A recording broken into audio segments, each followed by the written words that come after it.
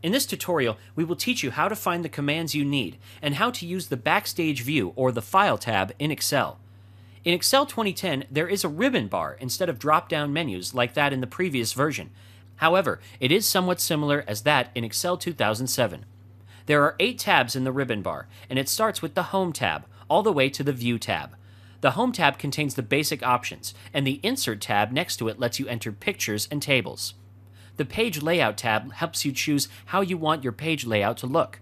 The Formula tab contains all the formulas and functions needed to perform an action in Excel.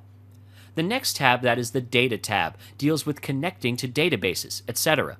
The Review tab allows you to share stuff with others. And the last one, that is the View tab, allows you to alter how you view your page. There is a small button known as the Launcher, which is present in some of the groups within different tabs. When you click on it, it shows you a small window. Clicking on the Number Group Launcher will launch the Format Cells tab. The ribbon bar can be accessed through another way. That is by pressing the Alt key, and mnemonics will be shown to you in the ribbon bar.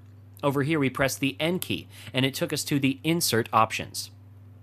The Backstage view can be accessed by clicking on the File tab. Excel has the option of remembering the last 50 files which were opened and shows the recent places from where they were opened. You can also pin and unpin the files. If you pin a file, then you can access them easily.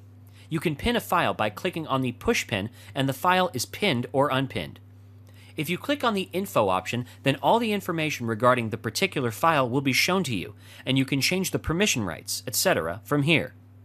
If you click on New, Excel shows you various templates and new files can be created from here. When you go to Print, you will see that it contains information regarding printing. Once you exit, Excel gives you the option to save the changes you've made. This was a basic tour of Excel 2010. It will help if you open it yourself and start exploring it.